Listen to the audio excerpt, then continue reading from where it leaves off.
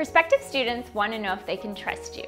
Using real positive reviews to share recommendations made by others can persuade new students to take your course. Did you know that up to 80% of people look for reviews before making a purchase online? Why not let your past students do the selling for you? Reviews are a powerful way to build trust with prospective students by providing social proof for your business and can increase sales of your course. I'll show you how on today's Friday Feature Focus.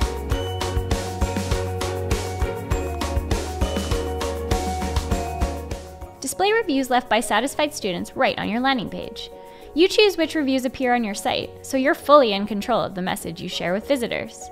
They also double as a way for you to gather feedback about your course so you can make improvements down the line. Take a stab at adding reviews to your course. Don't be shy to specifically ask for reviews from people that have completed your course.